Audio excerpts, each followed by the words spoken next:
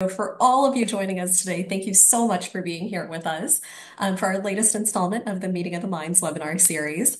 As we get started, I'd love for you to just take a moment to introduce yourselves in the chat if you can. So, your name and institution, maybe your role there, um, and what brought you to the session today. Um, I imagine that some of what brought you to uh, be here with us today is to be in community with people who are passionate about broadening participation in computing. Um, we know that some of our Alliance members in various parts of the country have faced challenges in continuing to engage in BPC work. Um, and it's likely that these challenges will become more widespread in the near future. NCWIT's mission has always centered BPC, and we remain committed to BPC principles, which means supporting your Alliance members enacting systemic change and helping you ensure the success of all of your students. And it's precisely for that reason that we're so thrilled to have Erika Dawson Head here with us today for her session titled Structuring and Building Inclusive Climates for Students of Color. Erika is the Executive Director of Diversity and Inclusive Community Development at the Manning College of Information and Computer Sciences at the University of Massachusetts Amherst. She holds a bachelor's degree in political science and sociology from Central Connecticut State University, and her master's degree is in counseling with a specialization in student development in higher education. Erika was instrumental in establishing an Office of Diversity and Inclusion at the University of St. Joseph while serving as Diversity and Employee Engagement Coordinator for the university's Department of Human Resources. She has been an administrator, participant, and presenter at the True Colors Conference for LGBT youth for the past seven years and an active participant with the Tri State Diversity Committee for the past three. She also served for two years as commissioner for the city of New Britain, Connecticut for the Commission on Community and Neighborhood Development. She's been an active participant and leader in numerous community organizations and has a passion for social justice. Erika is driven, like us, by her strong belief in diversity, equity, and inclusion while providing opportunities for all people. And for those of you who are lucky enough to have joined us at the NCWIT Summit in Kansas City this past summer, you might recall that Erika actually presented a workshop there. And it's our hope here today that this session will deepen the conversations that that conversation sparked.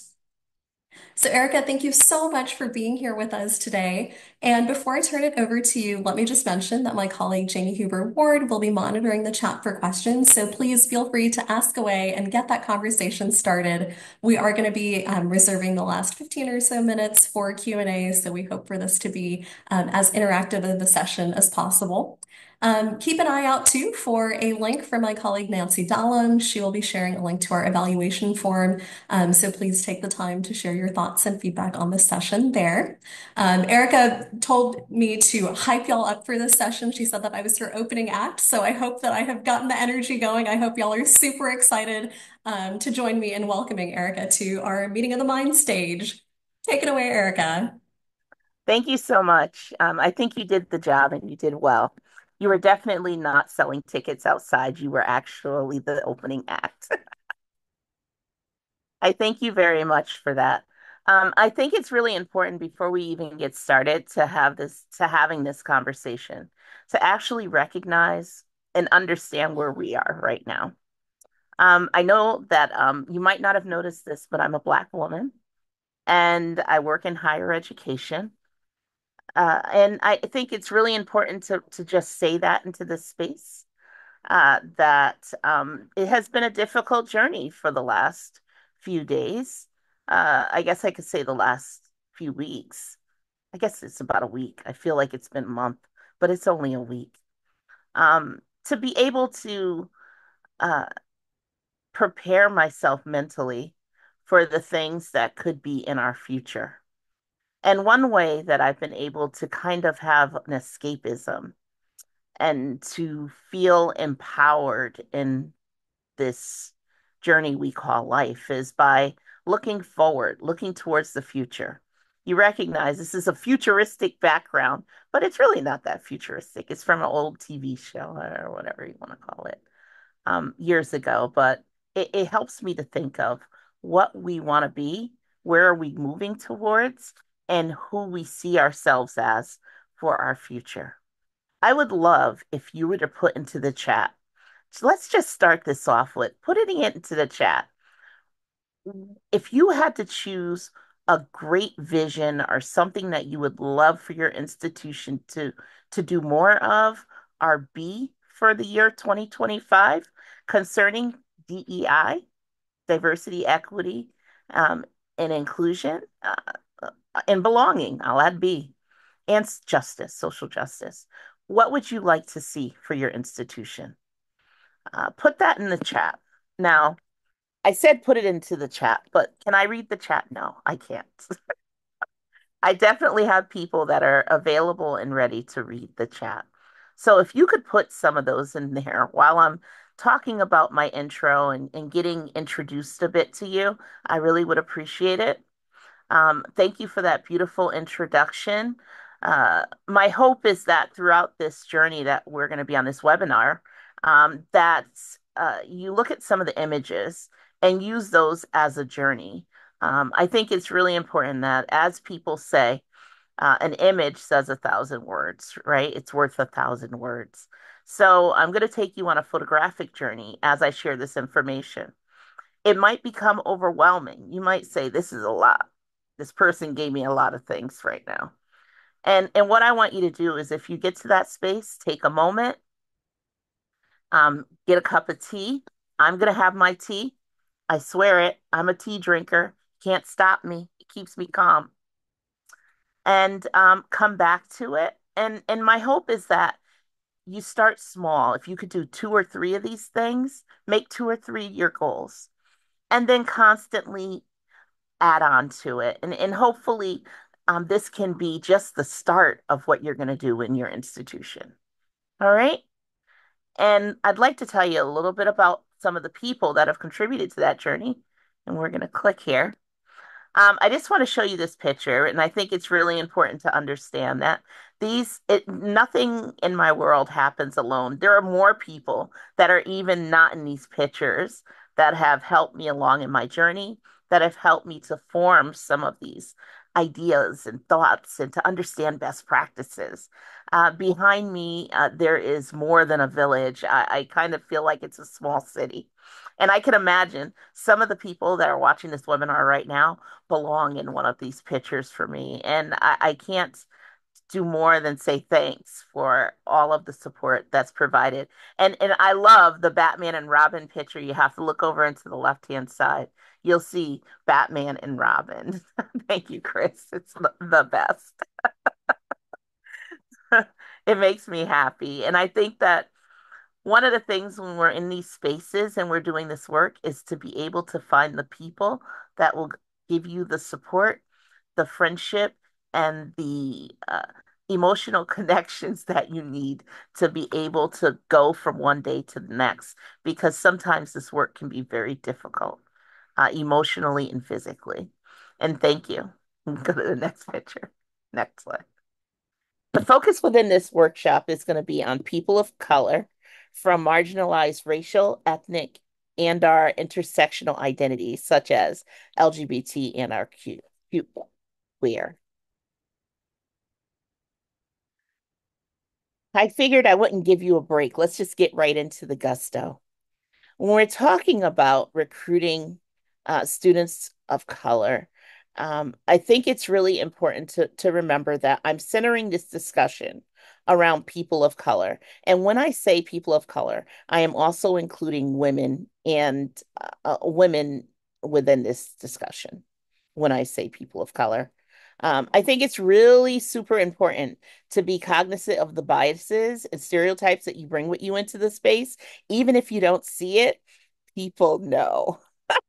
they know, they feel it um, things come out in ways that you can't even imagine. So it's best to do the work that you need to so that you're not walking into a space with the with a lot of the biases and stereotypes. And and to be quite honest, let me just explain something to you. They never ever all disappear. So um, it's going to be constant work, and it's really important to make sure you have it in check. If you're uncomfortable, it will be so obvious.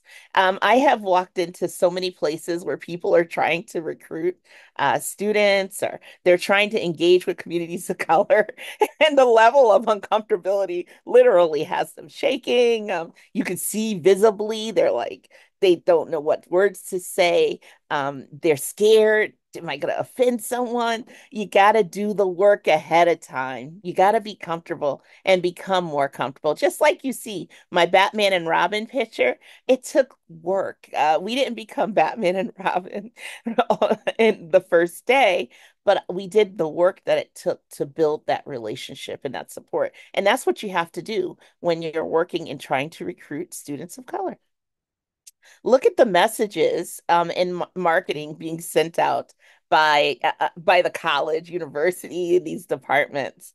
Um, it's really important to to really pick them apart.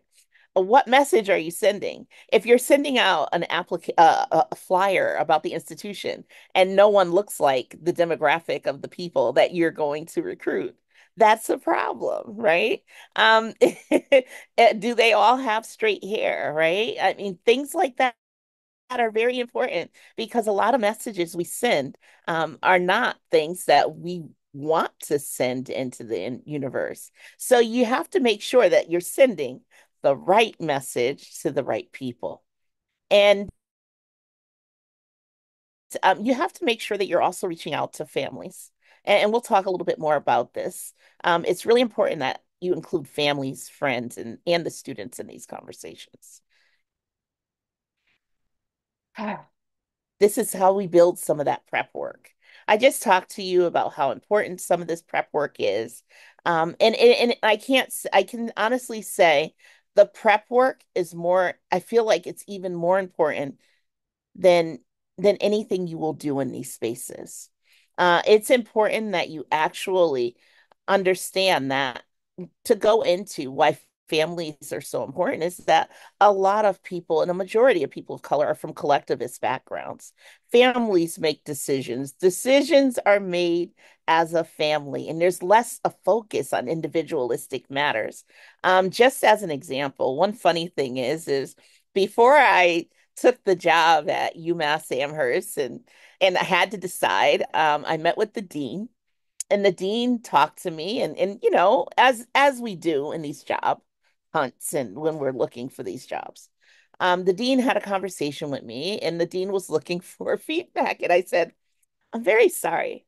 I just have to let you know that I have to talk to my mom first before I give you any insight or make a decision on this job.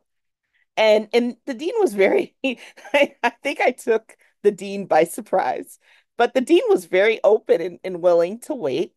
And and I went back and I had a uh, conversation with my entire family.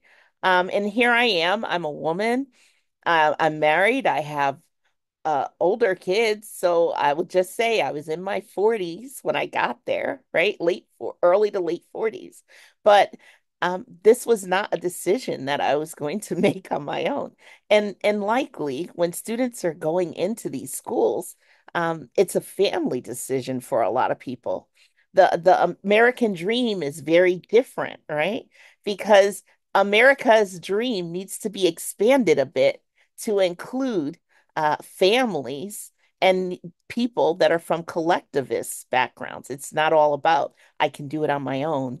Um, this is my my personal opportunity and my decision uh, it, it's very different. And I think that if we can understand that, we can make better decisions as to who are we marketing to, who is that community, who, how are we going to be more effective within these communities to help support them and the things that they're trying to do on our campuses and in our spaces. And that can go for for employees also. Inclusive communities include um, you want to build these communities because you want to have good advisors, programming, and people that are ready to sponsor these students, not just mentor students, but actually speak about them when they're not there in a positive light and really get them, uh, give them the support that they need when when the cameras are not on or when no one is there.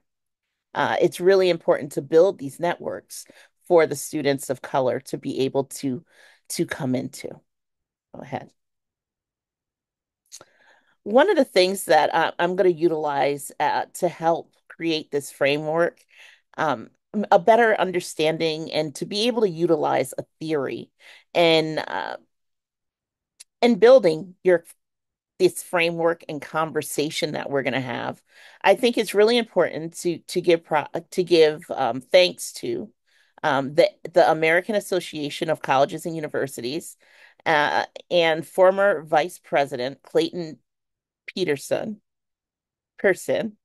Um, over 20 years ago, they created um, this framework, and I was able to take this framework apart and create it into a a tool that hopefully you can use in your spaces.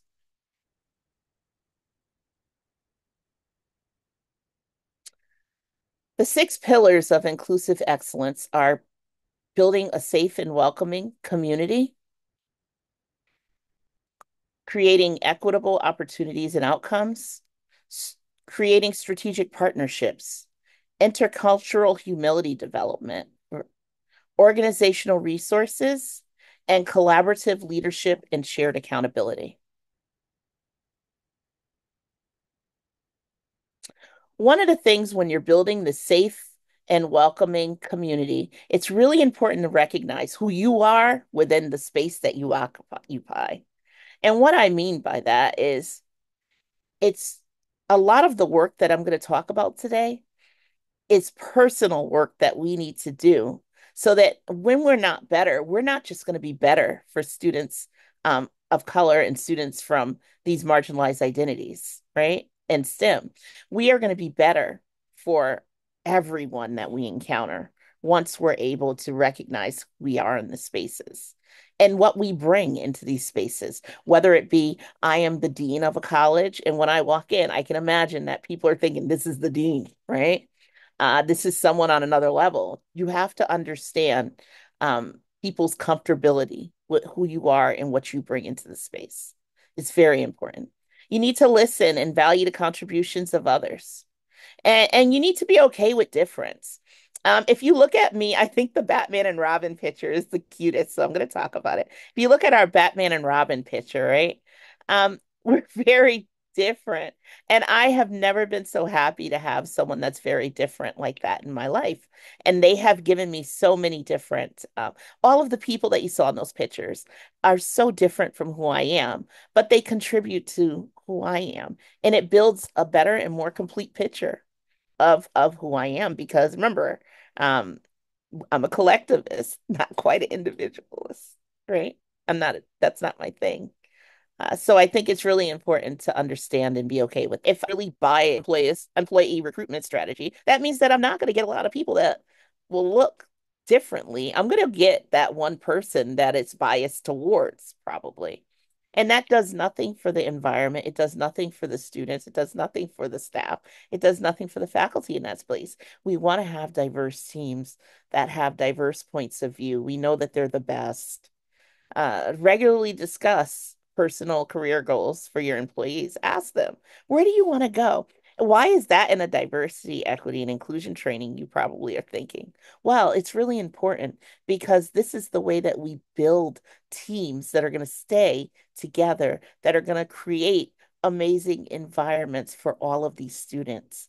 If we're constantly changing staff and faculty, and and we have a, a lot less uh, stability in those spaces, it it it affects everyone in the environment. And if you don't want to think about the environment, let's think about our pocket. It costs more money to hire new people, train them, and bring them into the space. Let's try to work with the ones that we have. And I think it's important to also support um, employees on the re resolution of office conflicts. Now, I know that there's things that happen, and sometimes it could be overwhelming and you don't know where to step in. But I think it's really important that um, you're able to get in the middle of those conflicts because sometimes uh, it, it can be an unbalanced or uneven conflict that's happening. And it can have a tremendous effect on the employees.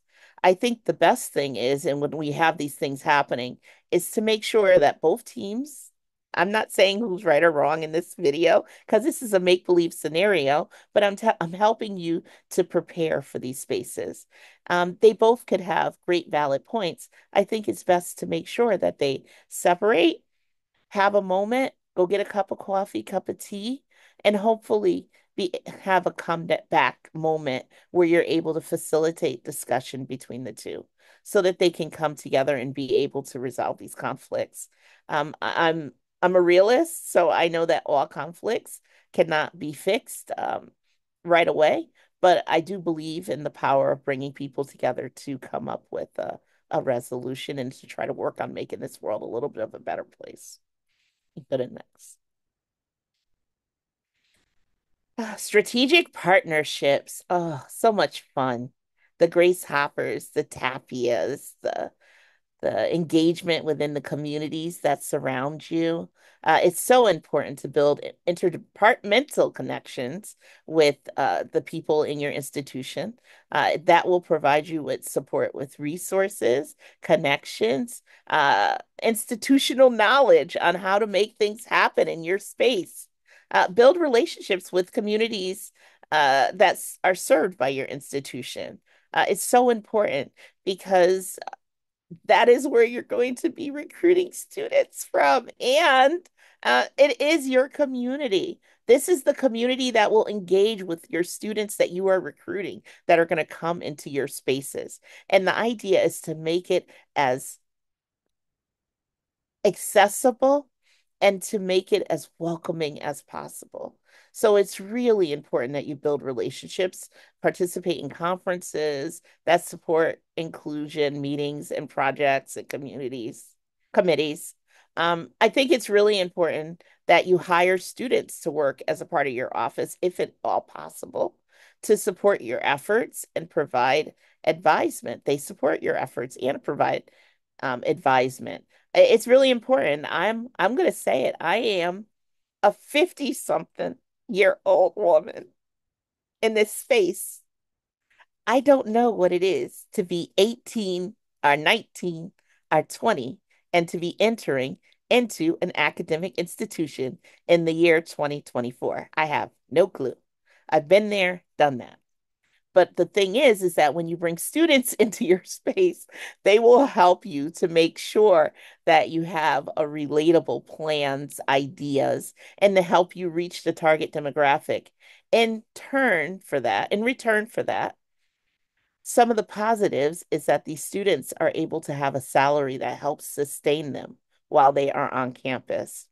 And a majority of the students that have worked within my office, I can say so far over the years, have found jobs in broadening participation in in STEM, and they have found jobs, various other jobs in DEI and STEM. And I, I think that it has given them a, a step up because I, I it's okay to bring a student into some of your meetings um, so that they can understand, especially first generation students. Uh, first generation students, and I don't want you to think that every Black and Brown student or every student from marginalized identities is uh, first generation because that is not true. But I am just saying that first generation students really benefit from that because one of the things that I encountered as a first generation student is all of a sudden I'm in a meeting with the dean and I have no idea of the norms the values, the ideas. How do I even engage in this environment? It was anxiety paralyzing at times. So I want you to understand that this is a way to support your students uh, in more ways than one. Go to the next one. We have a short little video that talks about intercultural humility. I think um, cultural humility cannot be collapsed into a class or an education offering. Um, it, it's an ongoing process, right? And I think that it's really important that um, we are very clear that uh, it is going into communities and and building those relationships that um, that you need. So go ahead and start the video.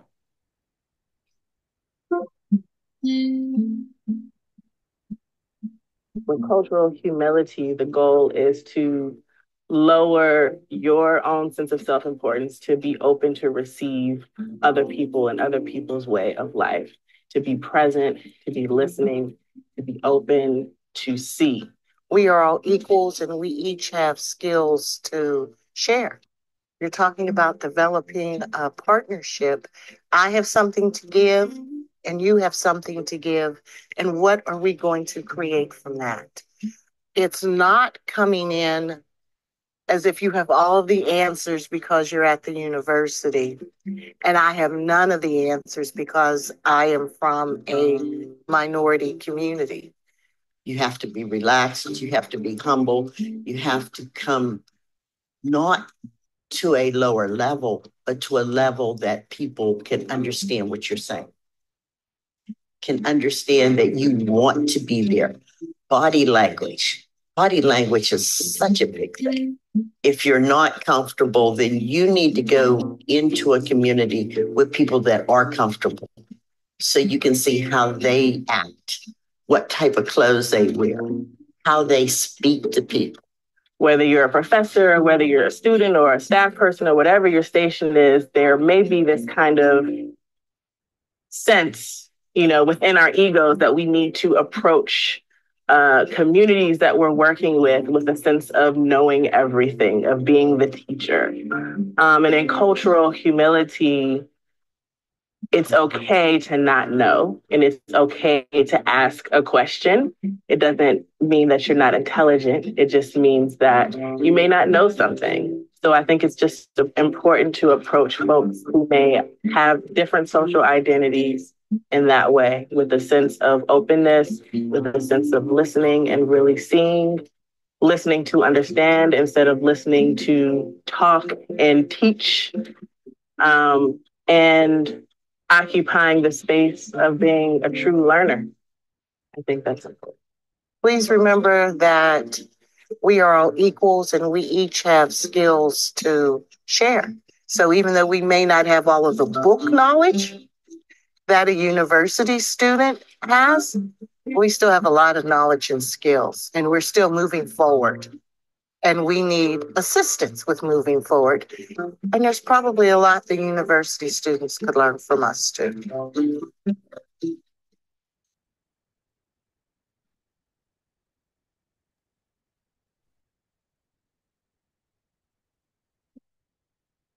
I hope you were able to take out a few things out of that video. It's okay not to have all the answers.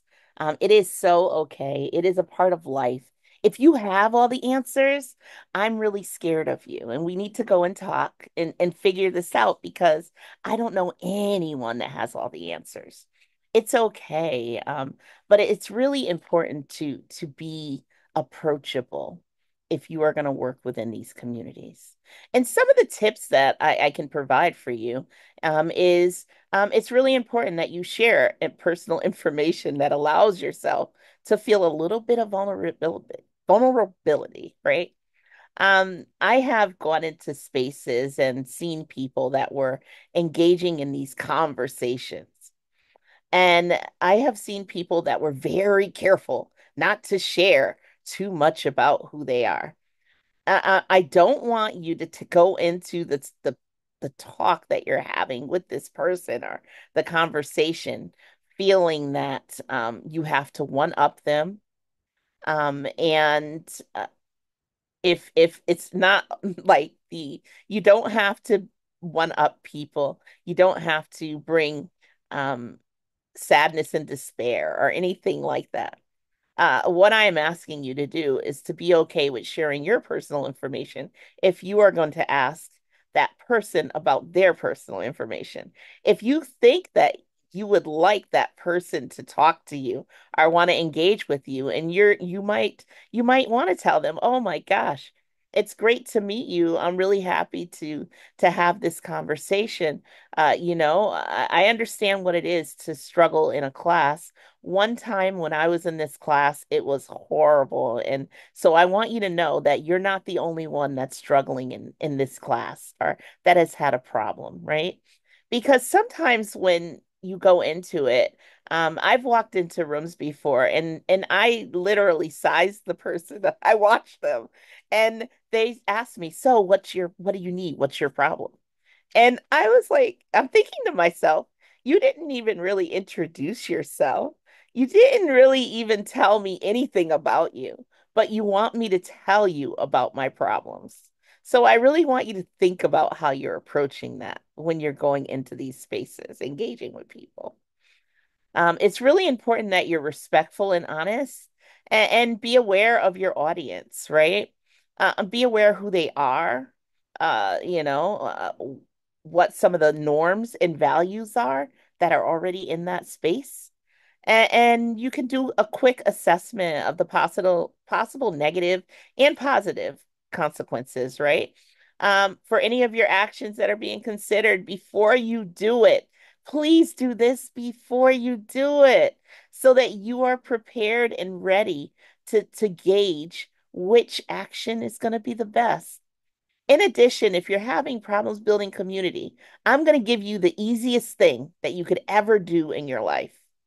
One of the things that I did when I first got to UMass Amherst is no matter what, I could see anyone in the hallway. I walked up to, I didn't walk up to them and scare them or anything, but I would say, "Hi, how are you? How you doing? How's it going?" And I would keep going. I would wave, I'd throw my hands up, and I would keep moving around and go from space to space. We all travel throughout our environments. And and one of the funny things is is that I I was walking maybe a few weeks into it. I had already done my walk because to get to the restroom from my room is like its own journey. Um, it's like I've gone to lands unknown. It's so far across the building that by the time I get there, I passed everyone that could be in existence by the time I get there.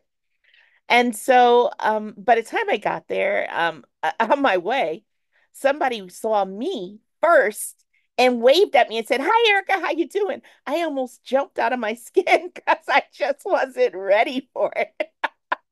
it worked. It worked. And and to be quite honest, everyone kind of got into a pattern and they understood that I when and and that is something that um it's something that helps people to see that I see you. I see you. I see you. I value you. You're in my space. Now, it's not a huge conversation, but it's just saying hello and it can mean a lot to someone in the day. Go ahead.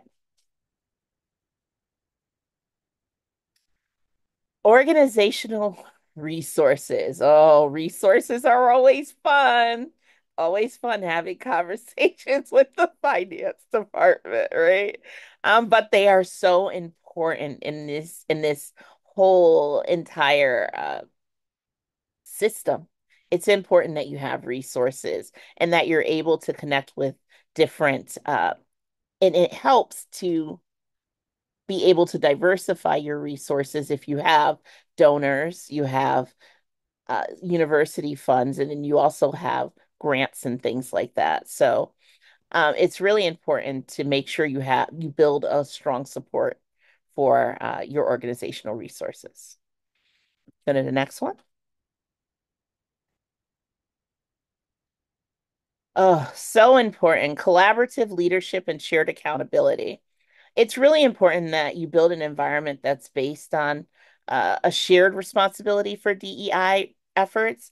Uh, if Erika was only responsible, if I was the only person in the entire college that's responsible for DEI efforts, number one, I am not going to see everyone in our institution. There are thousands of people in our institution. Number two, uh, it's really important that it be embedded in all of our actions, whether you're faculty, staff, and the students in the environment and the community when they come on your campus to visit. Uh, it's really important that there is a shared responsibility that we all have a responsibility to be welcoming and to to uh, create an environment that's supportive and has equity for all of us, right? So, and I think that it's really important also to um, welcome relationships with others and and recognize the contributions of others, right? Uh, there are many people that uh, contribute to who I am. Yes, I put a picture, and then one of them had a cool little Batman and Robin thing that came down, which I thought was the coolest.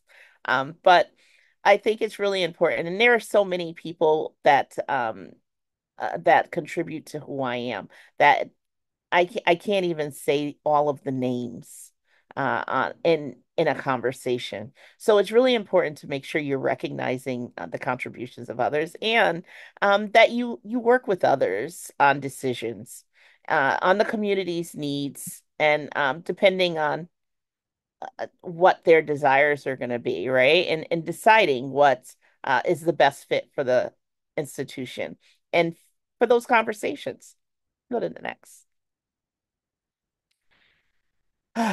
My hope is that you are intentional and you build a team that's inclusive of people of color. It's always amazing when we say that we want to work with communities of color, but then we don't have people that are reflective of the communities of color that are a part of the team. And it doesn't mean that you can't do it with a team that doesn't have uh, people of color, but there are people that are all over, people in your community, people that may be in other positions that might be staff. They may be just working, cleaning the offices, and it might be a great person to bounce some of your ideas off of and to have as a part of your team uh, consider the community and and how best um, to create that space right? When you have people of different backgrounds and also provide learning opportunities and conversations that support uh, staff and faculty. Like this this is a webinar that uh, hopefully will support you and your work that you're doing in your spaces but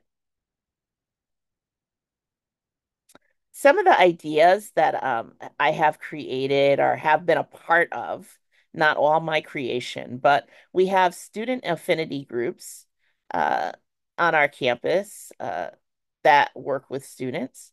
Uh, the Fierce Rap, which is a living learning community that is focused on women in computing, but it is open. Our our demographic of students that we target are women, students of color, and um, students that are first generation for the Fierce Rap. And it's a living learning community that we do programming. They have, they do pumpkin carving, all kinds of cool stuff.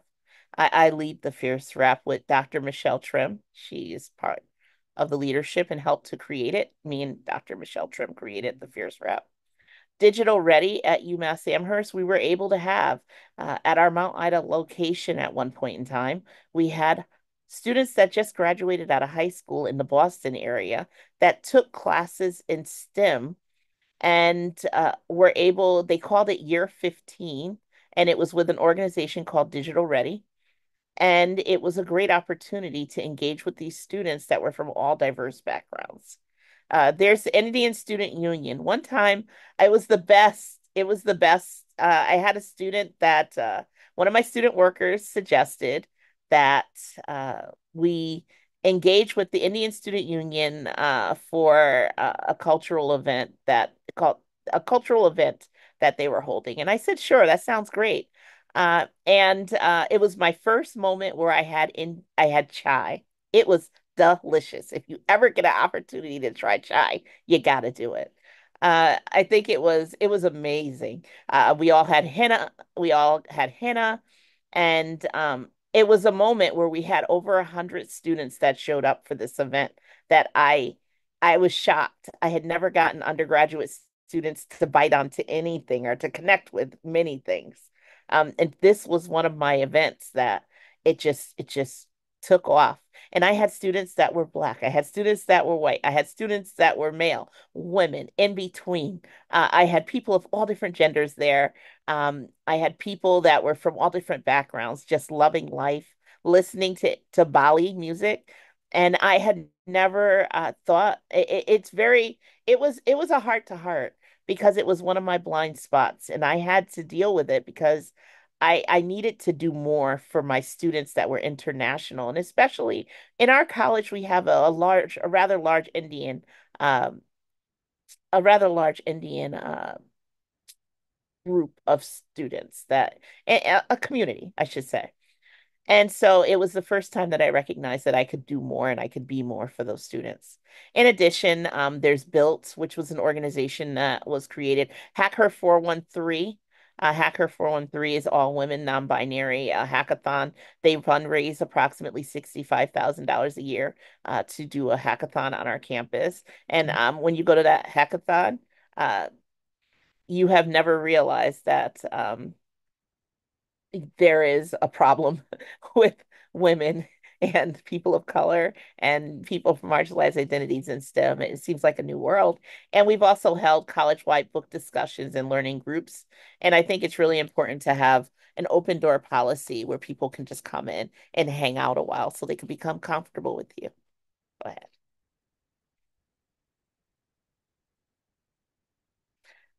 And last but not least, um, we are about to go into our Q and A, but I think it's really important to tell this quick little story. In the past, uh, I want you to tell you, I want to tell you, I think I'm going to try to simplify it. Drag Crochet is an organization that supports queer people in their recovery and way to sobriety. Um, at our NCWIT summit a few years ago, I met a woman named Wendy. Uh, we became very cool and and we enjoyed each other the entire summit. And uh, our common ground was that we both had a love for our children, uh, that drag art and theater. Right here, you'll see a picture of my son, Maximilian, uh, dressed in drag as Miss Clementine Kool-Aid. Uh, she had traveled from Canada to go to the conference, and um, I told her about my son. And then a little bit after, I received a package. In this package uh, was a gift from Rachel and Wendy, which Rachel is the do- their daughter, and they had made a handmade doll. And um, I think that I wanted to recognize this as the love and the feeling that I received uh, when I was going to the summit and from people that I would never have expected it from. And I think if you keep love, respect, and kindness at the core of your interactions, it's going to help you navigate any barriers that you encounter, support a more inclusive environment and world. And I do have a short, shameless plug that uh, the upcoming NCWIT 2025 summit will be held May 19th through 21st in 2025 in San Diego, California. And without further ado, thank you. These are a few resources. And thank you. Any questions? All right. Well, I would definitely invite folks to add their questions to the chat. Um, to get us started, I actually think that there is an interesting conversation that was happening in the chat. So, and I'm curious to hear your thoughts on this, Erika. Um, we obviously know there's a wide body of research in um, BPC literature that considers how to address minoritized students' needs as it relates to different computing student outcomes, whether that's persistence, retention, timely graduation. Um, so we know that we know what the research says in terms of how to support those students, but there's also a need to really cater to the students that you have, right? So not just this like monolith of minoritized students, but who are the students who are at your institution sitting in your classrooms. Um, so where do you think the balance is, or like what would you recommend to someone who's both wanting to do right by their students, but also um, and not wanting to burden them in ways that we know students of color already tend to be overburdened and um, harmed by institutions in unintentional ways. Um, so where's where's the line and where's the balance? What's the good first step for um, faculty who have the best of intentions to take in um, starting this journey? Um, I think it's really important that we recognize that when I say um, hiring student workers to work in your office, um, I, I want to rephrase it a little bit because I want you to understand that these are students that I basically end up mentoring. If you join the club, you become a mentee. And pretty much I become one of your one of your biggest supporters, our sponsors throughout your education. And I think there's a big difference there. I'm not using uh, the students. It just so happens I have a rainbow of students. I have a student from South Africa, a student from India. I have students from all over the world that are working for me. I have I have students um, that are from Asia, Asian, Asia, and, and other countries, right? Other continents. Um, I have people from all over the world. Um, I think it's really important that uh, you don't utilize them and not pay them, right? Because we all need to have a paycheck when the day is when the day is done. We need to make sure that these students have a paycheck and and not constantly asking them. One of the biggest burdens is that I saw happening was people will say, "Come and represent our department." These they have the three people that they have in their entire institution.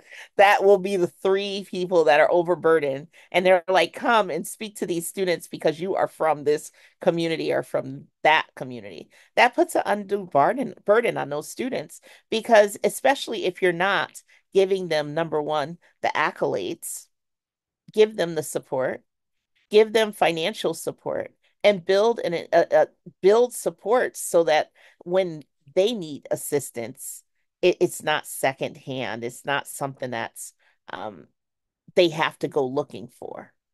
And and I think balancing, yes, I have. And one of the things I had to do is learn how to balance. Right, um, I had Indi- I have a large population of Indian students that are in our institution. And I was not doing a good job with meeting their needs. And I had to be honest with my downfalls and the mistakes that I did. And a hundred percent. And I was able to pull it back together once I was honest with myself and said, hey, oh, we need to do more. So I think that if you use these inclusive excellence models, it doesn't just make it better for the students that are from these marginalized identities. Or, you know, it makes it better from for everyone in the environment. Trust me, they all, it makes it better for all. I hope that answered some of your question. I think that was great. And then we had a question from Daniela who was looking for tips on mentoring students. We use the term mentoring a lot. We know that that's a way to support students, but what does it really mean to show up as a mentor for students? Okay, so what it means to show up as a mentor for students is I think it really means that you're you're you're making a commitment to spend time with those students. And let me explain what I mean by spending time with those students is that you're spending quality time with those students. For example, you might spend time with the students ahead of time, and it might not be something that um, is planned it i mean the best time that i've spent with some of my students where they've opened up and felt like it was more of a mentor is they brought their computer they sat across from me at my desk. And next thing i know we're both working on two different things and we're just in the same space. And i think that it doesn't have to mentoring doesn't have to be such a, a laborious or a stressful thing. It, it's about making the time to spend with those students and spend quality time with those students. And I think that it's really important to be able to help them to open up to you. They don't open up right away. It's going to take some time. Nobody walks in with all their problems out and says, Hey, let me just give you all my problems or anything that I need from you right away. And I think it's also understanding, meeting them where they are. Um, one of the things I could take away from counseling that is really a great piece is meet people where they are you know, and don't look down on them and get rid of a lot of those stereotypes and things that are in your head because those are the things that cause barriers between you and mentees. And there's a lot of other good things, but I really think it's also important to consider meetings that are some meetings are, are more pressing and more private than others. There's no reason why you can't take that student that you're mentoring and say, come on, let's go to a meeting. I want you to see what it looks like when we're walking into a meeting with the dean or working into the meeting with other faculty or other staff and, and watch me navigate this space because it's something that people don't think about, but it's really needed in these spaces so that when they're walking in, it's not their first time engaging in these spaces. Go right ahead. I hope I answered some of that. That's great. And then I think we've got time for maybe one more question because I do want to be mindful of ending on the hour as promised. Um, so I think this is a great one to wrap this session up with, which is obviously some of us come to this work with lived experiences that give us an inherent passion for wanting to get this right. Um, but we might have colleagues who maybe don't understand the impact of race and identity on students' experiences, particularly in fields like STEM and CS. Um, so what approaches or resources would you recommend to helping educate these colleagues who may not be as um, as invested in this work, or maybe just not understand the necessity of how race and identity can intersect with educational access, with opportunities, and particularly with the challenges and potential barriers they might face in the higher ed landscape? Um, I think it's really important that you keep. Uh, I I know that training can be very difficult and it it could be an expensive or laborious process, but I think bringing in trainers and people that are not you to talk about it are very beneficial. I repeat, people that are not you. Because sometimes when you are talking about these things, people have already labeled you as maybe, oh, this is the person. I know what to expect from Erika. So I need to, if a new face comes in, they get an opportunity at it, right? Um, I also think that it's important. We had book discussion groups uh, that happened in our college. And I can't tell you how many things changed and how many minds were. I was shocked. We even had a faculty group. We had over a hundred people read the book White Fragility by Robin DiAngelo. We have also had we we read Parable of the Sower, which has nothing to do with the the that realm to an extent, right? Um, but it was something that our dean participated in and, and other faculty and staff and students. So we've had a lot, Black, Brown, and Bruised. Please get that book by Ebony McGee, I think it is, if I'm not mistaken. Um, it's a wonderful book and it's a great book to use to talk about those barriers. It cannot be you talking about it all the time. You have to bring in your allies. That's why there's Batman and Robin in that picture because it took two people. It takes an ally, and and sometimes it's um and experiences. I I've done workshops where we've helped people to have these experiences. Me and Batman have done workshops, I should say. Uh, I would say Chris Hovey, which is their real name. Um, me Batman. I guess I'm Batman and they're Robin, but um, me and Chris Hovey have done workshops that help people to be able to see their privilege in their spaces. So